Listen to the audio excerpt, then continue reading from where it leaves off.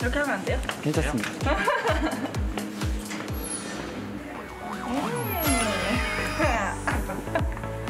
섀도우 해드려도 돼요?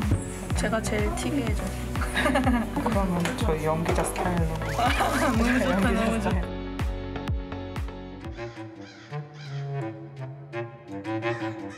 One, two, three, four.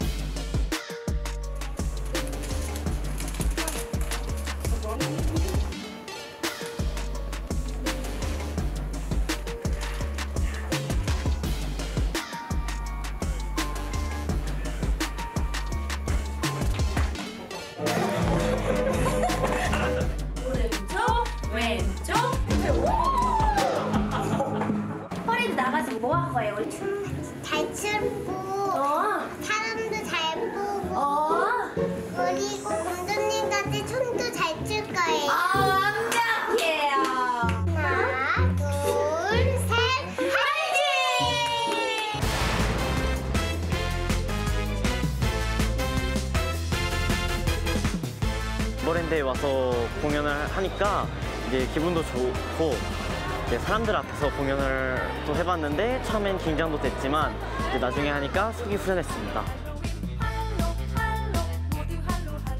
이번에 사람들 앞에서 나서는 걸 굉장히 제가 좋아하는데 이런 기회가 닿아서 너무 좋고 다음에 또 하고 싶습니다. 또 불러만 주세요.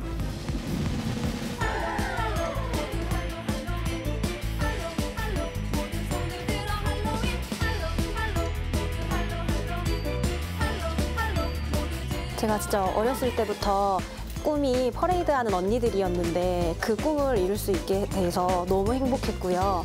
어, 생각보다 너무 많으신 분들이 다 집중해 주시고 그 현장에 서서 보니까 정말 더 감동이 배가 됐고 이제는 제가 죽어도 여한이 없을 것 같습니다. 이런 기회를 주셔서 정말 감사드립니다.